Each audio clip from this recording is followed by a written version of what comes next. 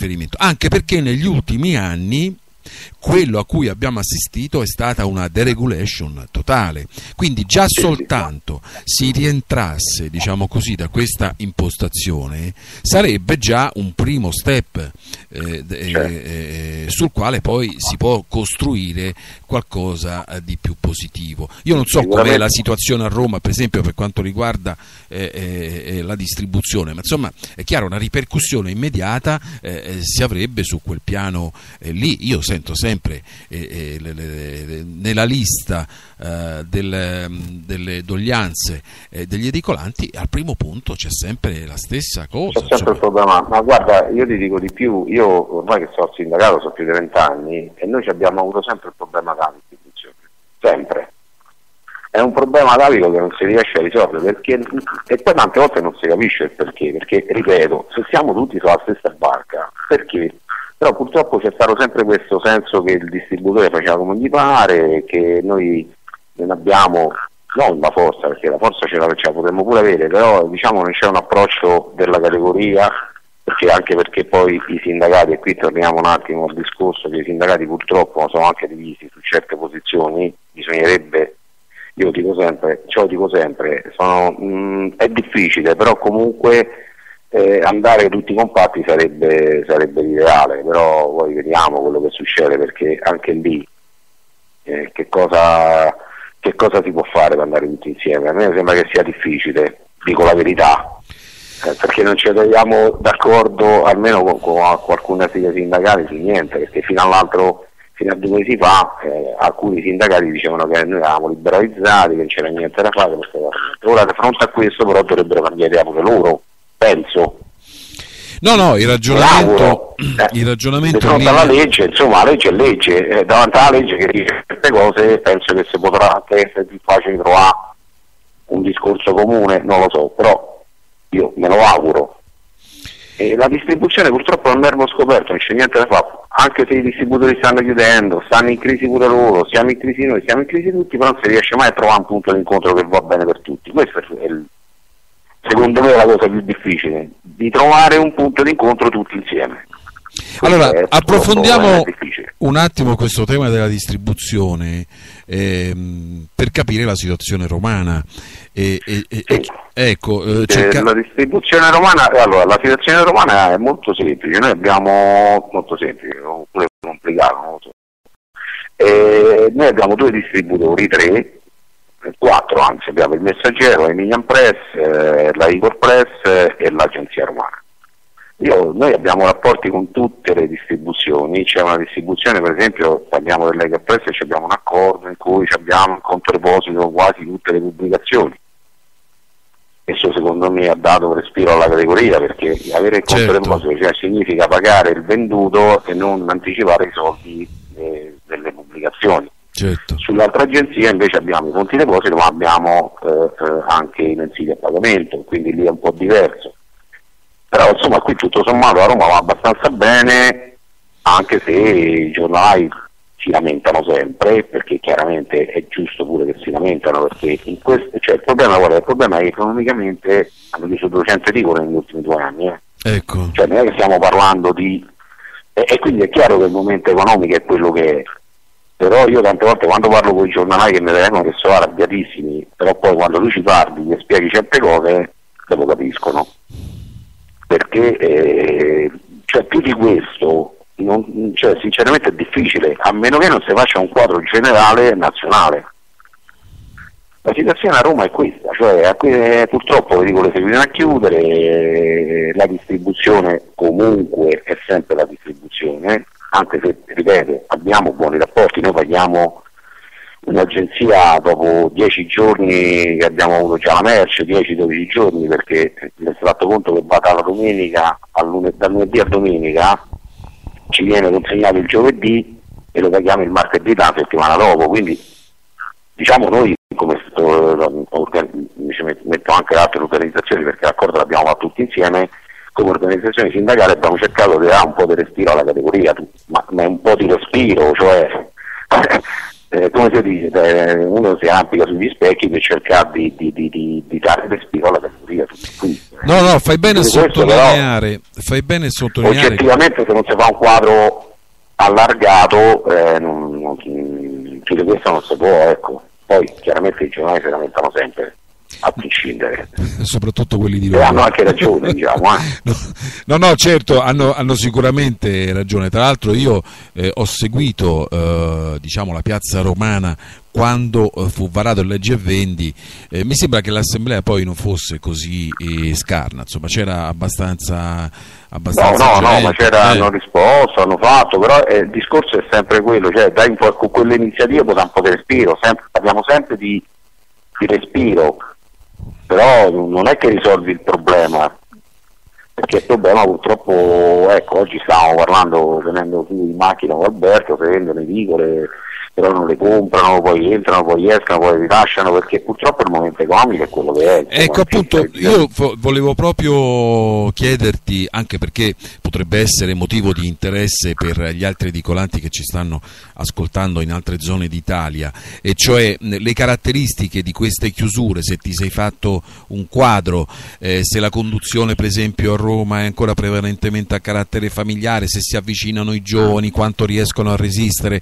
ecco, caratteristiche di questo genere che servono ad inquadrare meglio ah, guarda, allora eh, ti posso dire che eh, eh, chiaramente essendoci stato un calo delle vendite eh, hanno sofferto subito le edicole quelle che stavano diciamo più in, diciamo in periferia, periferia perché al centro certo. storico bene o male eh, cercano di vendere altri prodotti tipo i souvenir per gli stranieri quindi in qualche maniera perché se fosse stato per prodotti editoriali al centro storico avrebbero chiuso tutte le edicole anche se poi, scusa Enrico se ti fermo un attimo, dovrai dirmi qualche cosa, perché, lo, per, questo te lo dico perché lo vedo, eh, c'è uh, una certa presenza di, chiamiamoli, migranti extracomunitari, cioè eh, sì, sì. che si stanno inserendo. Questo ne parliamo dopo. Vai avanti nella spiegazione delle.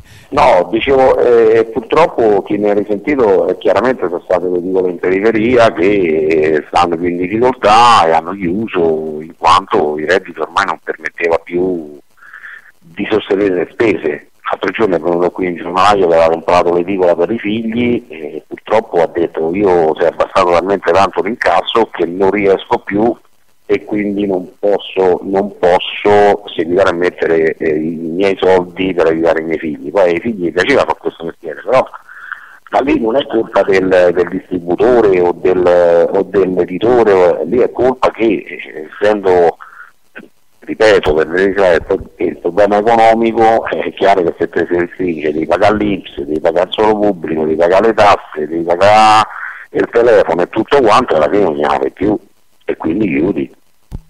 Oggi ci stanno edicole che eh, incassano 200-300 euro al giorno e ancora vanno avanti e non so per quanto tempo riusciranno ad andare avanti. Questo certo. è il quadro. Dunque... E ripeto, negli ultimi due anni hanno chiuso 200 edicole. Quindi è un numero altissimo, certo parliamo eh, di Roma, sì. però è un numero altissimo eh, rispetto a Roma c'erano mille edicole, oggi ce ne sono 800 forse, forse. Certo. Quindi il 20%, eh? non è che parliamo di... No, no, no, non è poco, certo. E, dunque tu hai citato il suolo pubblico, eh, a me è venuto sì. in mente insomma... Ah, che... noi, no, ecco, volevo dire una cosa sul suolo pubblico, che qualche anni fa noi come sindacato, e dico noi perché noi l'abbiamo fatto, siamo riusciti, siamo riusciti a, ad abbassare il pensione pubblico, cosa che magari nessuno se ne è accorto perché sai come i giornali sono bravissimi, però quando fai una cosa positiva. risparmiare è dovuto, punto. Eh, guarda, l'unica, l'unica categoria Roma, l'unica categoria Roma che mentre gli altri hanno aumentato tutti il solo pubblico, ai bar, eh, e chiaramente c'è noi abbiamo fatto le nostre ragioni e passando da eh, le edicole erano messe in un ambito, siamo passati, siamo stati equiparati alla, ai carburanti e abbiamo abbassato il suolo pubblico, ma parliamo di 200-300 euro l'anno hanno risparmiato. Eh. Quindi noi sul suolo pubblico non possiamo, quest'anno non è aumentato, avevamo paura che ce ne aumentavano, gli unici che sono stati penalizzati sono stati quelli del centro storico perché? Perché il cadastro ha fatto la rivalutazione in base alle strade sì. e lì purtroppo non c'era, il cadastro purtroppo non è il comune, quindi abbiamo potuto fare poco. Beh, da questo punto di vista c'è un sistema di tassazione che è scientifico, non si può sfuggire sì. e quindi laddove chiaramente... Hanno rivalutato sono... la strada e praticamente da, da 10 hanno fatto pagare 15. Eh certo. Tutto qui, do, do, non è che hanno fatto una delibera, sai, una delibera col comune vai a discutere.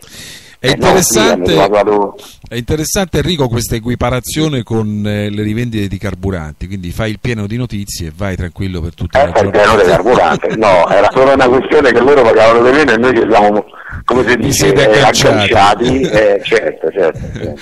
Allora, è vero, c'hai ragione, il pieno di carburanti e pieno di notizie. Dunque, ehm, dicevamo dei migranti, eh, che è un altro eh, capitolo interessante eh. perché appunto nelle grandi città, quindi Roma, si stanno affacciando a questa professione e però appunto anche lì è un mondo da scoprire. Non so voi a che punto siete eh, dal punto di vista della relazione eh, con questo mondo, se si sono Guarda, presentati. Eh, ti, ti, dico subito che mh, adesso parecchi, parecchi diciamo, extracomunitari, chiamiamoli migranti, che vengono, si avvicinano alle edicole e le comprano, ma le comp- loro le comprano con altro spirito, cioè loro sono abituati a lavorare, non è che lo dico in senso dispregiativo, ma loro stanno aperti tutta, tutta la notte, lavorano sempre, sì. la vedono come un punto che poi dopo magari si rendono conto che non è come dicono loro, perché magari si può vendere tutto dentro l'edicola, l'edicola si può vendere solo determinate, determinate cose in base alla legge che c'è, però si stanno avvicinando al compartimento edicole e li stanno comprando. Ultimamente abbiamo, abbiamo parecchie, parecchie persone che sono entrate nel mondo nostro, al centro, in periferia, dappertutto. Quindi anche qui sta prendendo piede il fatto che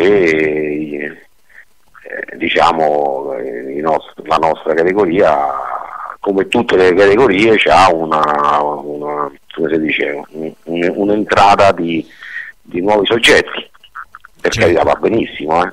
e noi siamo contenti perché secondo me potrebbero portare qualcosa di nuovo adesso non so che cosa però ecco bisogna, avete fatto, anche, avete fatto un, censimento, o meglio, avete eh, in no. mente di farlo, cercare di capire, di contattare? No, per adesso no, io, io però lo, me, ne, me, ne, me, ne, rendo conto perché siccome noi qui a Roma abbiamo anche la possibilità di eh, avere, avere, una società di servizi che fa eh, la contabilità, c'ha il notaio, c'ha tutto, quindi attraverso questo tipo di servizi ci rendiamo conto perché entrano in gestione e vengono qui a fare la gestione, eh, la comprano e vengono qui a fare l'atto, quindi ci stiamo rendendo conto in base a queste cose che stanno entrando, ma non è che abbiamo, cioè noi al limite poi sul nostro eh, computer abbiamo le schede di tutti quelli che i nostri associati e ti dico che sta prendendo piede questa cosa.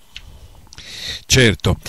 Va bene Enrico. Ce allora... ne rendiamo conto per questo, cioè per, per il fatto dei servizi che elargiamo ai nostri associati certo, attraverso la società che abbiamo. Beh, prima o poi sicuramente eh, la cosa prenderà le sue gambe perché è importante insomma, sviluppare un confronto, anche perché come dicevi tu c'è un altro stile di approccio. Eh, ecco, e, e, e, quindi è interessante eh, capire e confrontare eh, qual è eh, quell'approccio lì, quali sono uh, gli obiettivi. Quali sono i vantaggi e i svantaggi esatto. che, che, poi ne verranno alla categoria, perché non è detto che siano tutti vantaggi o tutti svantaggi, però bisognerà valutare con, eh, con calma quello che succede. Io non lo vedo male, insomma, eh, io lo vedo in senso positivo, anche perché ci sono giornali ormai che sono 40 anni che fanno questo mestiere, magari sono anche stancati certo. e quindi approfittano per vendere la loro azienda. Sì, eh, diciamo così in astratto, adesso non, non, si può ragionare con i numeri, ma mi sembra di capire che hanno un grado maggiore di resistenza. Eh, sì.